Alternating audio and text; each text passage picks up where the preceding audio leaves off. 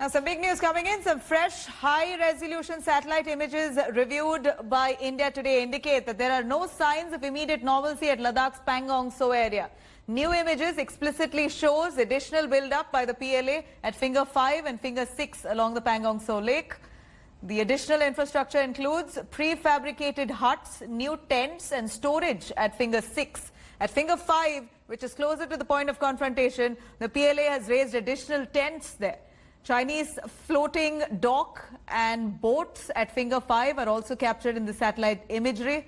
However, new images shows that disengagement process remains in place at the Galwan River Valley where PLA earlier moved back from the line of actual control. Satellite images from the Galwan River Valley taken on the July 23rd show that the PLA troops have been following the disengagement so far.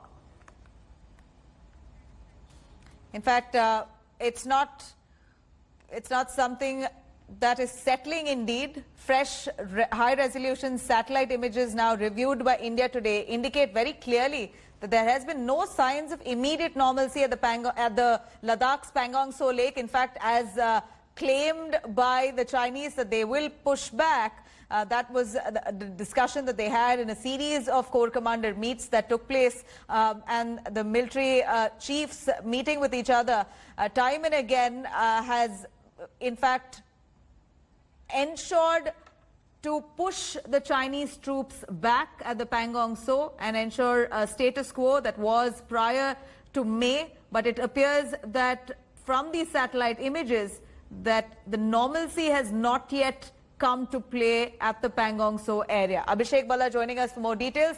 Abhishek, these new images there very explicitly show additional build-up by the PLA at Finger 5 and Finger 6 along the Pangong Tso Lake. Take us through the details of, uh, uh, of the infrastructure that we see currently in these images, including prefabricated huts, new tents and storage at the Finger 6 area.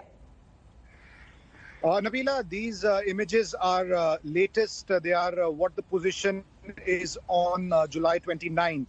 And there are a few very important uh, things that clearly come out in these images. one is that the Chinese have enhanced the number of boats that they have in Finger 5 and Finger 6. while they continue to have at least three boats in the Finger 5 area, they have enhanced the number of boats at Finger 6 from 8 to 10. Uh, at Finger 6, there is a permanent uh, uh, space for anchoring these 10 boats. Uh, uh, now, what this means is that, you know, each boat can carry a minimum of 10 troops. And these are, you know, uh, troops of the PLA ground forces, naval wing, which are elite forces.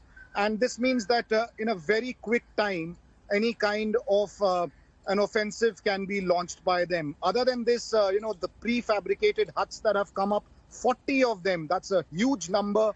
This suggests that uh, uh, the Chinese are preparing for the long haul because prefabricated tents can accommodate uh, a dozen uh, uh, troops and it can withstand extreme cold conditions. So it clearly shows that China has begun to make preparations for the long haul uh, before the winter sets in. And why all this is important is and crucial is because uh, this has been happening amid all the talk of disengagement.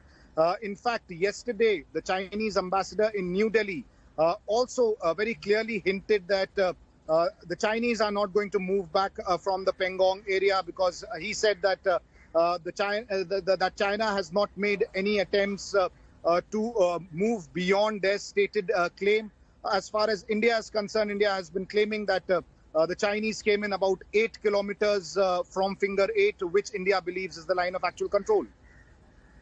Right, Abhishek, uh, in that case, uh, for the amount of talks that have taken place between the two sides, the two military chiefs, uh, eventually uh, the result should have been uh, China pulling back. In, in Galwan, we are looking at status quo being maintained, but here in Pangong, so they refuse to budge. What do you think is the intention there? They're, they're, what exactly does China really want to state here? Well, it seems that uh, the longer uh, this uh, continues, this kind of a stand, uh, you know, standoff continues in Pangong, a new status quo is emerging, and that's the fear within the Indian security establishment as well, uh, because uh, you know it's very clear that China.